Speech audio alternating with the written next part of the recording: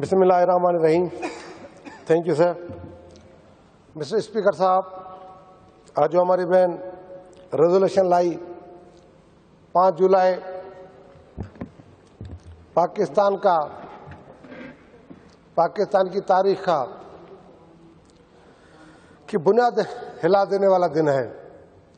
पाकिस्तान में दो हादसा जो एक 16 दिसंबर 71 को हुआ और दूसरा 5 जुलाई।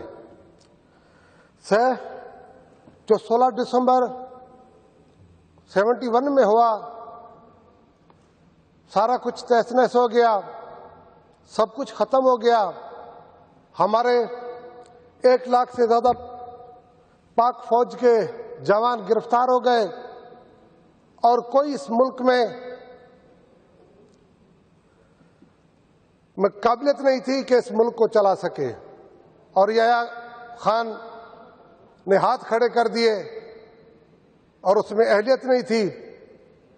उस हालात में आके इस सरजमीन को मिस्टर स्पीकर शहीद जुल्फकार अली भुट्टो ने संभाला और इस तरह संभाला कि ये मुल्क एटमी ताकत बना।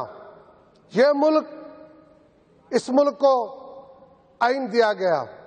इस मुल्क के आम शहरियों को शनाख्ती कार्ड मिला। इससे पहले सर कुछ भी नहीं था।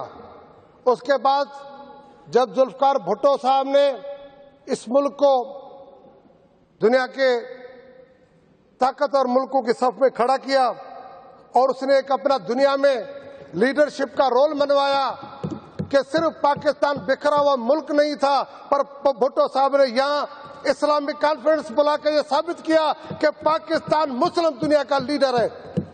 और उसके पादाश में जनाब शहीद जुल्फकार अली भुट्टो के साथ जो किया गया, सर, आज भी जो पाकिस्तान उस डगर पे नहीं आ सका, वो सिर्फ़ इस वजह से कि शहीद जुल्फकार अली भुट्टो को शहीद किया गया। मिस्टर स्पीकर मुझे अफसोस होता है। इतनी कुर्बानियों के बाद मैं एक और बात भी पहले भी करता रहा हूँ, आज भी करता हूँ कि जितनी इस मुल्क के बनने के लिए लोगों की जानें नहीं गई, जितना इस मुल्क के बनने के लिए लोग जेलों में नहीं गए, जितना इस मुल्क की जमहूरियत को बचाने के लिए पाकिस्तान पीपुल्स पार्टी की लीडरशिप ने कुर्बानियाँ दी। पाकिस्तान लीग के, की लीडरशिप पीपुल्स पार्टी की, वो शहीद बेनजीर भुट्टो हो, वो जुल्फकार भुट्टो उसके बाद भी हम सुधरे नहीं, इस मुल्क में आके जोकर बिठा दिए गए, सर। इस मुल्क में आज जो है ना, वो जोकर बैठे हुए उनमें ना कोई सलाहियत है ना कोई अहलियत। है आज, सर, इक्कीसवीं सदी में जिस मुल्क में लाइट ना हो ना, सर, मेरा ख्याल है हमें शर्म से हमें सर झुका देने चाहिए।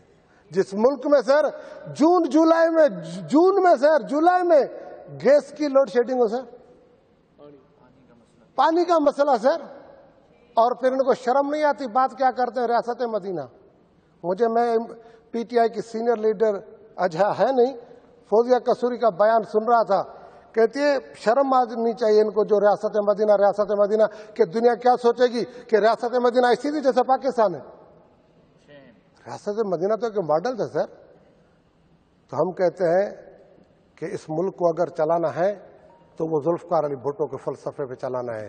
क्योंकि जुल्फकार अली भुट्टो, हम फखर करते हैं जुल्फकार अली भुट्टो पे और उसके खानदान पे, उसकी फैमिली पे।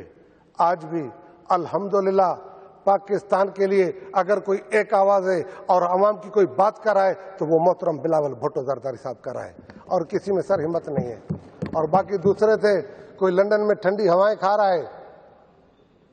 और सर जुलम तो देखें कि जिस दिन मुल्क में सिक्योरिटी काउंसिल की मीटिंग होती है, सलामती काउंसिल की, उस दिन पाकिस्तान का प्राइम मिनिस्टर का और कोई काम नहीं था। अरबाब रहीम से मुलाकात कर रहा था। अरबाब रहीम इतना इंपॉर्टेंट मुल्क इंपॉर्टेंट नहीं है। जहाँ पे सर जोड़ के फौजी क्यादत सिविलियन क्यादत, आठ घंटे सर बैठिए।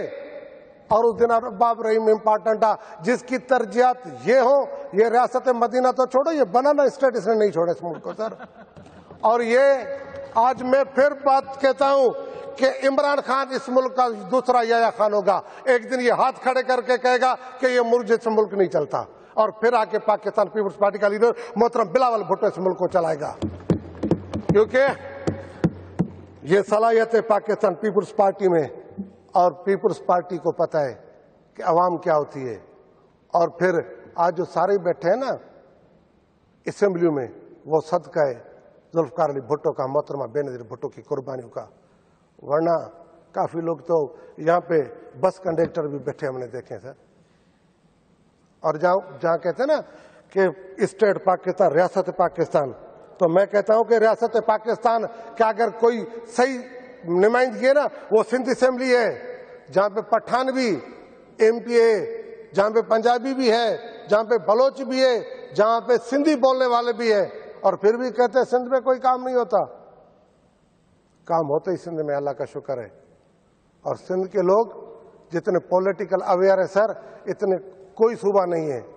जब 88 में यहाँ इलेक्शन हुई थी तो जितने भी पीर मीर खड़े थे, वो सब भी सबने शिकस्त खाई और फिर नींद से उठ के बोला कि हमारे खिलाफ फरिश्तों ने वोट डाले, नहीं, सिंध के लोगों ने वोट डाले।